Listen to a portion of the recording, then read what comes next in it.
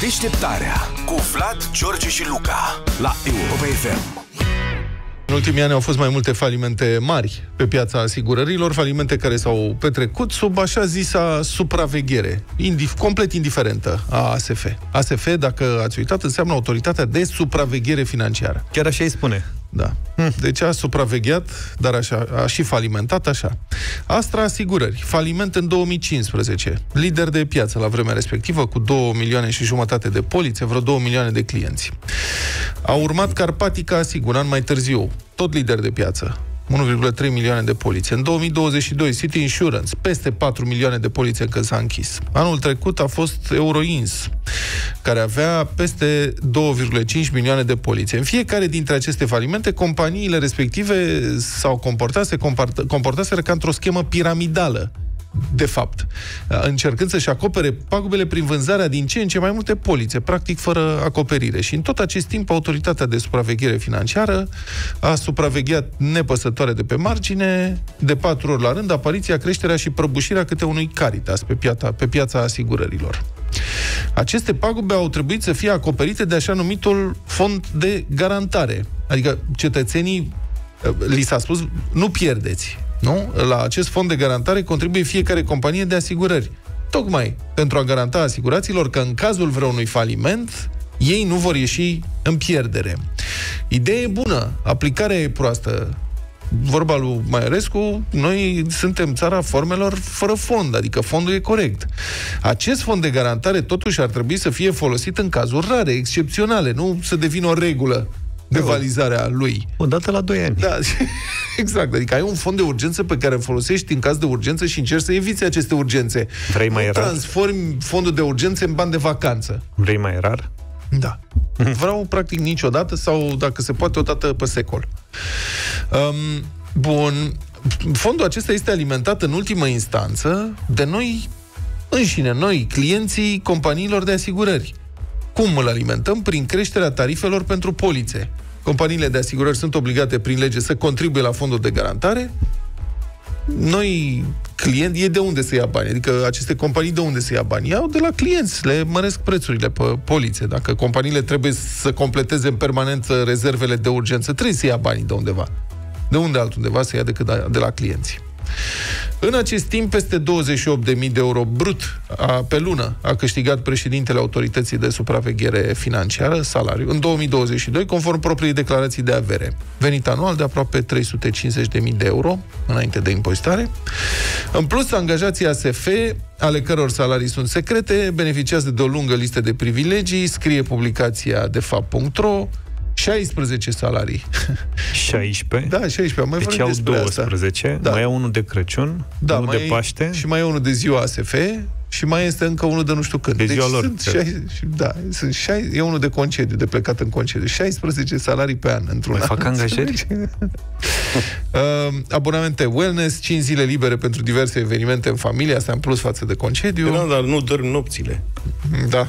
Vrei să existe. Să, să supraveghezi de rupi. Te gândești la City, la Carpatica, la toate...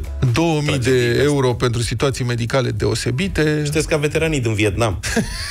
Se trezesc transpirați. Mamă, cum a fost cu Carpatica? Urma.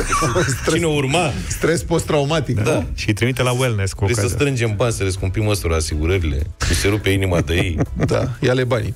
Una peste alta, aceste falimente tip Caritas de pe piața asigurărilor au costat contribuabilii români 1,2 miliarde de euro până acum. Eu, și urmează să se plătească încă 800 de milioane de euro.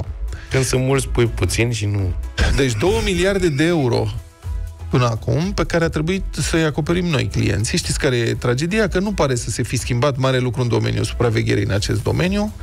Deci, mie, unuia, Luca e sceptic, Luca zice că gata, s-a învățat lecția, nu se mai întâmplă. Mie se pare că sunt foarte posibile și alte astfel de falimente catastrofale. O exista posibilitatea vreodată, dar la momentul actual, la cei pe piață, nu, nu mai, mai sunt... e cazul, gata.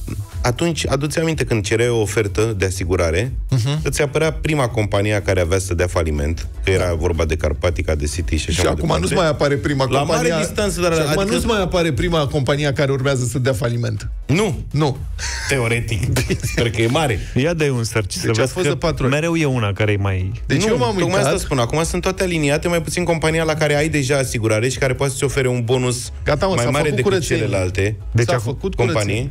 Și S-a făcut curățenie, neîndoielnic, nu mai e loc, nu mai e gata. Au dat toate alea care trebuie să dea faliment, au dat faliment că erau niște nenorociți. Aici eu nu Acum, înțeleg acum o să trebuiască să ghicim care da. dă faliment. Eu nu înțeleg cum a, în perioadele precedente, când existau aceste companii mici, Da. cum de n-au dat faliment ale mari. Da. Înțelegi? Aha. Adică cine își mai făcea asigurare acolo și de ce și-ar fi făcut acolo asigurare când era una care ți oferea prețuri mult mai mici? Să fie așa cum zici tu, reamintesc 2 miliarde de euro care trebuie, totuși, au trebuit, sau trebuie recuperați, că au plătit până acum 1,2 miliarde de euro și mai trebuie recuperați încă 800. Deci banii ăștia, 800 de milioane de euro. Aia. Păi, deci greu a trecut. Da. Deci banii ăștia sunt luați de la clienți. Și m-am uitat de curiozitate că am același, același agent de asigurări din totdeauna, mă rog, de ani și ani de zile. M-am uitat să văd cum a evoluat prețul. În 2020 eu mi-am luat o mașină nouă, o mașină mică, 2 litri motor, mașină nouă pe persoană fizică. Nu mai avusese mașină persoană fizică de ani și ani de zile. Când, na, dacă am firme în 2003 și folosesc mașina ca să fac producție, Patroane. Bun, deci persoană fizică în 2020 tarif 12 luni, clasa bonus malus B1, că eram la început B1, uh-huh. da?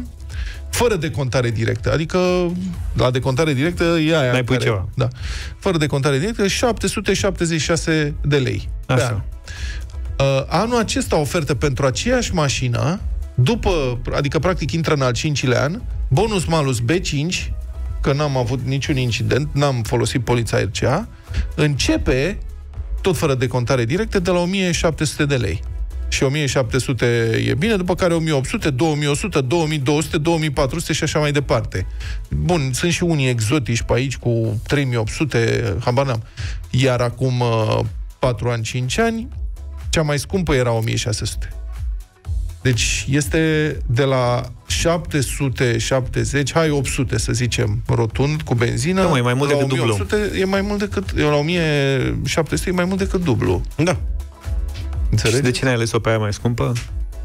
Da. Nu știu, păi am ales-o pe asta care mi se Eu, pare da, e atât de cine- e mișto. cine- Și au crescut și polițele casco foarte mult. Eu am renunțat la casco, pentru că chiar nu se mai poate. Sunt prețuri uriașe la casco, știi? Eu vreau să cunosc pe cineva care cumpără asigurarea aia cea mai scumpă. Cea mai Pentru că scumpă. diferențele sunt foarte mari, de la 1700 la 3800 sau cât ai zis tu acolo. Da, ce ei, dacă vrei după aia să ai liniște câțiva ani, să-ți se pară totul ieftin. Păi pe aia, faci un sacrificiu odată. Așa. Și 2-3 ani după aia te distrezi. Deșteptarea cu Vlad, George și Luca la Europa FM.